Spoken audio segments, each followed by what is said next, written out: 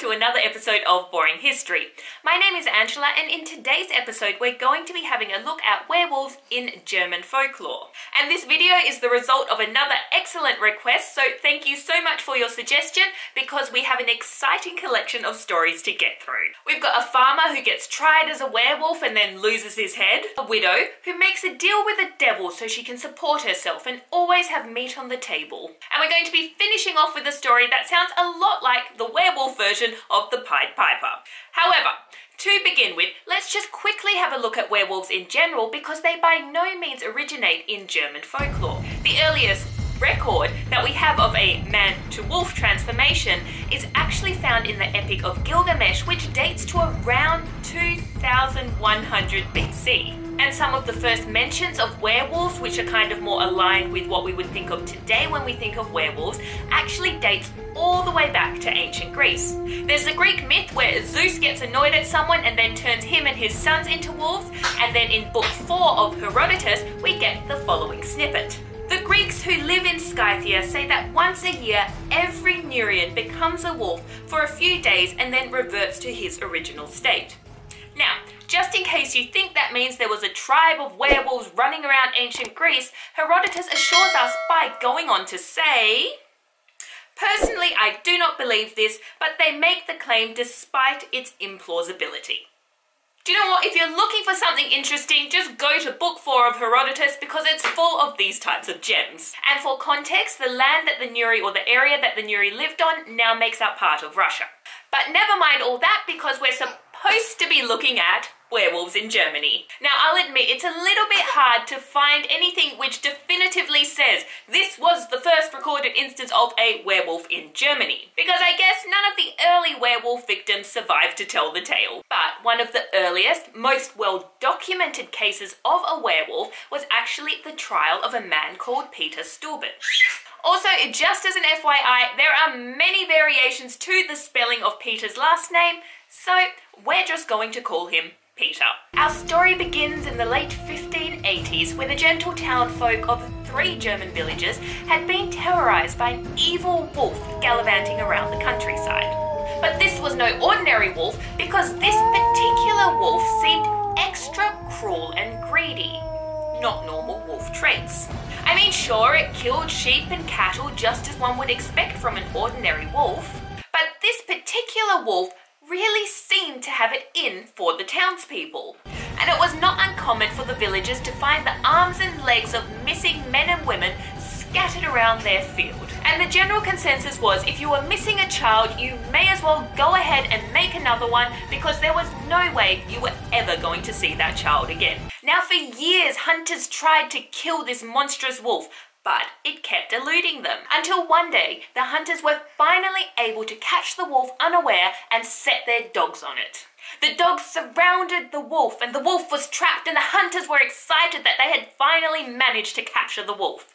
But just as they were about to go in for the kill shot, the wolf transformed, and suddenly in its place stood a man with a walking stick. Now, at first, the hunters were like, oh my god, that is the devil. But then one of them was like, Nah, that looks like Peter from down the road. Now, the hunters were not unreasonable men, and they didn't want to jump to any conclusions. Because, after all, it was possible that this man really wasn't Peter, and instead was a demon who had decided to look like Peter, or possibly even the devil himself in disguise. So they took the maybe Peter look-alike and went to the actual Peter's house. I mean, it was the middle of the night, so if this wasn't the real Peter, the real Peter should definitely be in his bed asleep. But when they got to Peter's house, it was empty.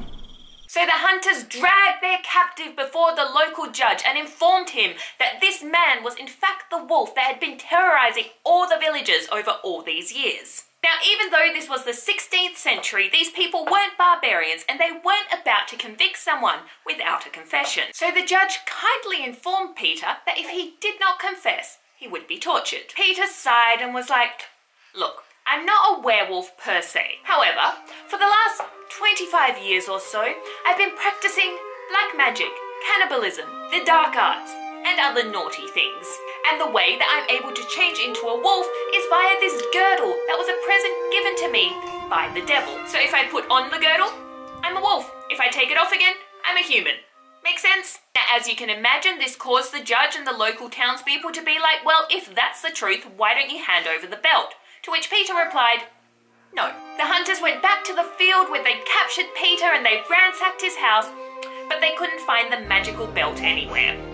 And poor Peter, because even though he'd confessed to all of the murders and all of the evil happenings, they still decided to torture him. Until finally, on October 31st, 1589, he was beheaded. His head was placed on a stake outside of the village, just as a warning to other werewolves or sorcerers who were thinking of stopping by. And his unfortunate wife and mistress were burned at the stake because everyone was like, well, Obviously, they had to have helped him. Now, the whole trial and execution of this werewolf sorcerer called Peter was such a big deal that they actually put together a pamphlet which outlined the whole Peter story.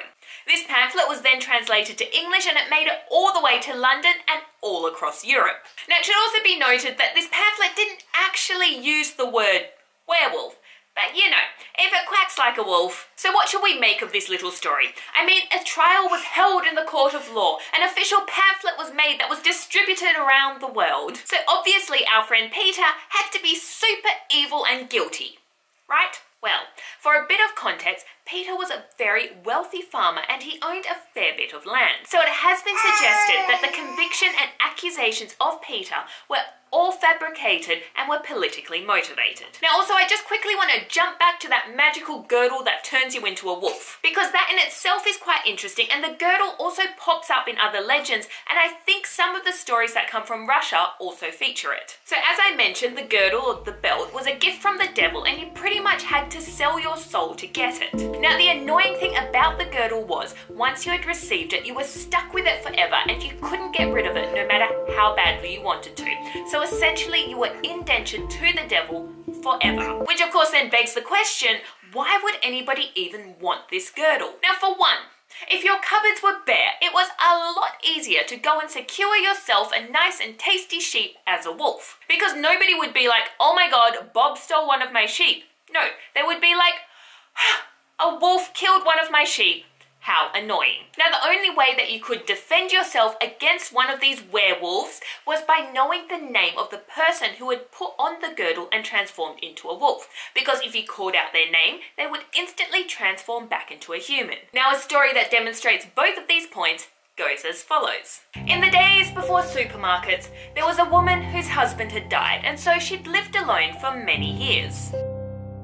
And yet somehow she was always able to put fresh meat on the table when somebody popped around for dinner. One day her, let's say nephew, popped around for dinner and he was like, Auntie, how did you manage to get this piece of mutton? I mean, you're so little physically, how would you even manage to lift and butcher a sheep on your own? And the woman was like, well, nephew, I'll show you exactly how I do it. All you have to do is climb on the roof and keep an eye on the paddock at the back of the house. The nephew did as he was asked, and before long he saw a wolf running towards the sheep that were grazing in that paddock. The shepherd and the dog who were protecting the sheep tried their best to defend the flock against the wolf, and they almost managed to succeed in killing it.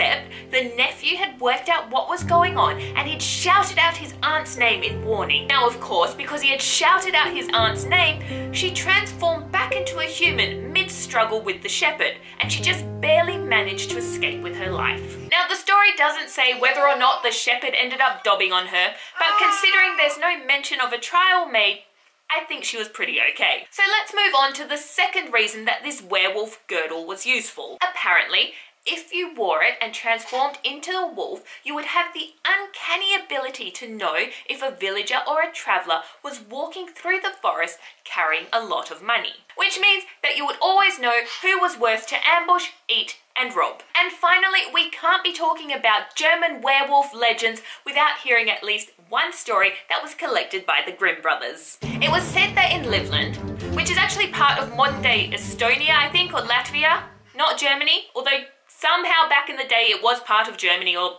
they spoke German. Something like that. Do you know what? Doesn't matter. It's a good story. We're going to move on. It's said that once Christmas Day is over in Livland, there's a boy with a terrible limp who wanders the streets calling out for all those who have submitted to the evil one and commands that they follow him. This boy is accompanied by a large, tall man who carries a whip that's made of braided iron. And if anyone who has been tainted by evil refuses to follow the boy, this man whips them into submission. As the tainted people slowly fall into line and follow the men, it's said that they begin to lose their human form and gradually transform into wolves. The wolves are led to a field that is filled with cattle and they're let loose to devour and attack as many of them as they can.